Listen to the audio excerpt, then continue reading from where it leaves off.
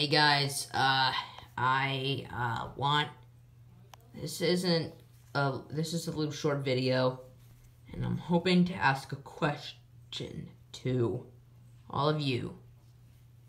Now, would you love to see a live action channel with no plushies, just the creator and his friends? Now, would you really like, would you really love to see it? That's pretty much it. Anyway, just see you later, guess.